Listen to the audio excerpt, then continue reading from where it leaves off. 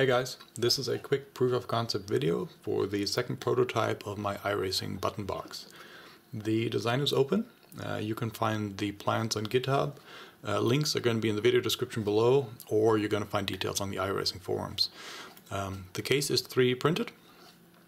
Uh, the faceplate comes with four dedicated buttons on the top row. Those are just simple push buttons.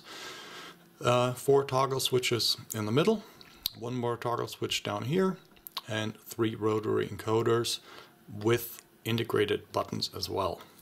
Um, the encoders are really great for navigating the menu. Um, this one here is set up. Whoops, let me just get focus here. Sorry.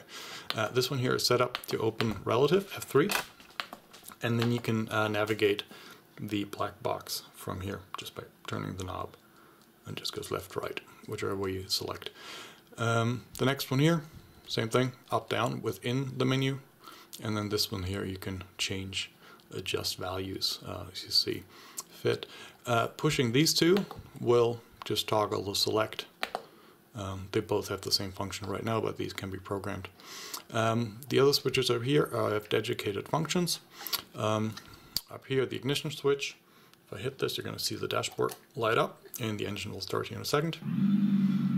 Um, if I press it again, going to go off. Uh, really great during GT3 races, during the start, when you're just sitting on the line waiting for people to join. Just turn your engine off, you're not wasting fuel, um, which means you can just take a little less fuel during the pit stop.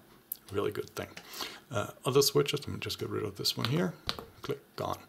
Um, sorry, typical things. Okay, escape, hold it, just like an iRacing. Boom, you're out of the car. Let me get back in. Um, the other ones, let me get into the menu. Brake bias up, brake bias down. ABS um, settings right here. Six, up seven, down.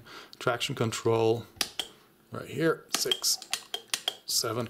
And it will also show on your display, of course, um, but I just have the engine turned off right now. Uh, you could also just use these encoders here to change the values. Um, get rid of this. And then down here I have the dedicated pit stop.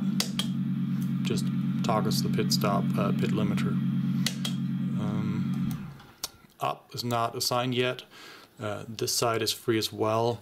All the um, the device acts as a standard USB keyboard, and all the keys that it sends can be configured in a, a config file. It's just a few settings. You can tell it to use a modifier key like the shift key on your keyboard.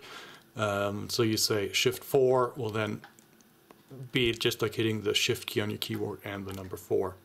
Um, again, please visit the uh, GitHub website, link is below for uh, plans, uh, instruction manuals, or visit the iRacing forum if you want to see a few more uh, detail, get more information about this little device. Uh, very easy to build, 3D uh, printer case. It's about a takes about a day to build this thing. So really simple, uh, neat little project.